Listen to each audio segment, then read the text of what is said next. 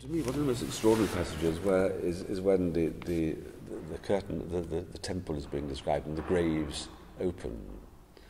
And with a minimum of um, instrumentalists, you've got this astonishing vision of a, of a catastrophe, of, of graves opening, sort of cataclysmic.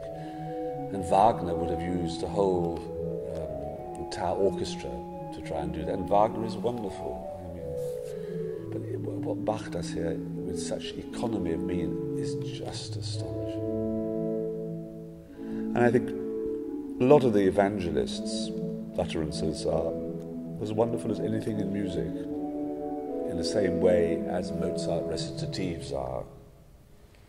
Um, you know, E Susanna non vien just breaks your heart. Um, and so, do, so does much of the evangelism. I must say, James Gilchrist, it's wonderful he does it. He uses pauses very, very pregnantly. It's wonderful. So I go for lots of bits of recitative, and that scene in particular, yes.